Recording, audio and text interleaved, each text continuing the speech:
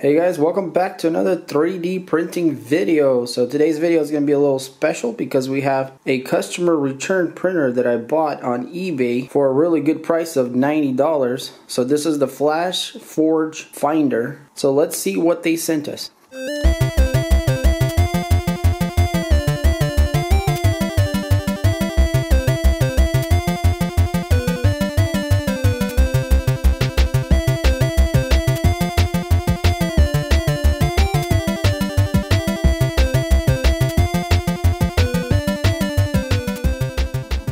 Seller on eBay that sells these as customer returns and with the feedback that he has, it seems like that most people get pretty decent printers that need very minor repairs. So I went ahead and went for one. So this is a really good price, but you know, it could come with some issues. So let's check ours out and see what it looks like. So it came in this box here, which is decently large, and it does have a big A over there, so I'm not sure what that means. So I went ahead and cut the tape.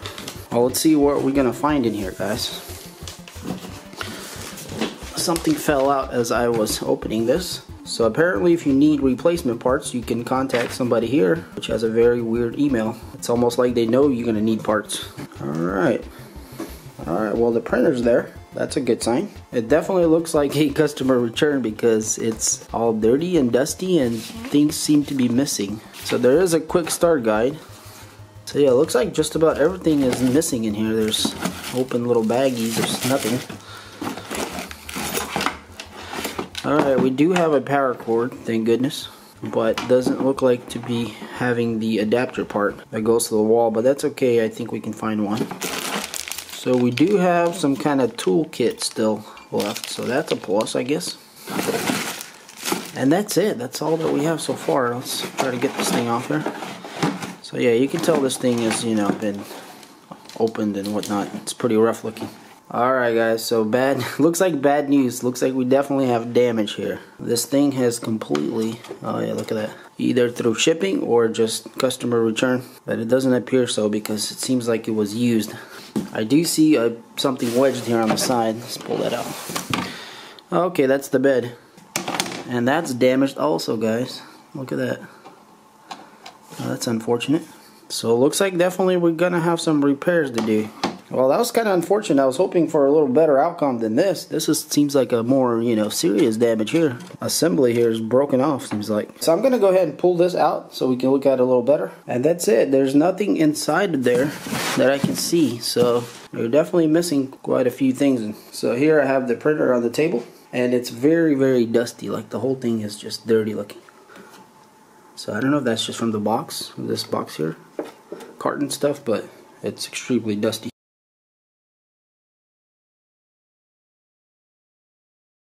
Alright, so it appears to be that this whole bracket here on this side is completely broken off from here. And it also looks like the switch here, the end-stop switch, I guess it got damaged during the fall or something, but it doesn't make any sense.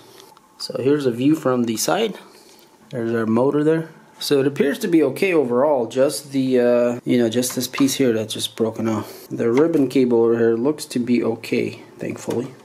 So yeah guys, unfortunately we got a bad one with some serious damage, but maybe this is not too bad. The good part is it doesn't look like we actually need to buy any parts. It looks like mostly that we just need to fix this bracket here. And this is something probably that can just be glued on, I'm guessing. Other than that, it seems pretty good overall. So here on the side, it looks like we have a USB connection. So I'm guessing you bring in files with the USB on this one. And here on the very back we have the power switch, power plug that goes in there. And here is the model number, some of the information about the printer. So here we have this, looks like to be the spool holder, filament holder. Let's see if there's, oh look at that, there's something in there for us. Oh that's good. That's good because these Apparently these spools are smaller, what it looks like, than the normal spools. So we do have a little bit of filament left for us to do some test printing later. A little disappointed of how that was broken off there. But you know, this is one of the risks that you take when you buy something that's customer return. So, and I for some reason believe that this did not break or was not broken by the customer that returned it. I think this was broken because when it was returned, it was not packed correctly And so the weight of this thing bouncing around or maybe the box got thrown really hard where it fell and it broke this connector here and that's probably what happened. Most likely the customer returned this printer for another reason or they just didn't like it. So Alright, so what I'm going to do is I'm going to wipe it down a bit because it's ultra dusty and I'm going to see if maybe I can somehow attach this temporarily to the top here. That way we can at least turn it on and see that it works at all. Because I don't want to waste my time trying to fix it if it doesn't even, you know, power on and stuff like that. So we're just going to power it on and see if it works. So I wiped down the printer so it looks a little better. And also I got a zip tie and I zip tied this whole broken area here. So obviously this is not a permanent fix, but this is just a temporary little fix here because as you can see it's not even sitting correctly yet. But as you can see guys, we're moving around. Well, that's already a plus. Now we're moving this way. And the bed moves up and down. So if I just push it, you can see it going up and down. So everything seems to work. So everything looks pretty good on it so far that I can tell. So I want to go ahead and plug it in and see what happens. So I got the uh, power plug here, adapter here connected, and it's glowing green. So let's go ahead and plug this guy in. And I'm going to hit this uh, power button here, so hopefully everything will be alright. Alright, here we go. So nothing's happening, unfortunately. Now, I don't know if I need to push this to power it on. Let's go ahead and try that and that's what I was afraid of. So I'm not sure if the printer is bad or the power supply. I have a feeling it's the printer, but whenever I push the power button, the light just go out and kind of blinks. So I'm thinking there's a short or something in the system. That's why it's not powered on. Well guys, this just turned into maybe not so bad into awful. Alright, so I'm to play around with it and see if I can figure out anything.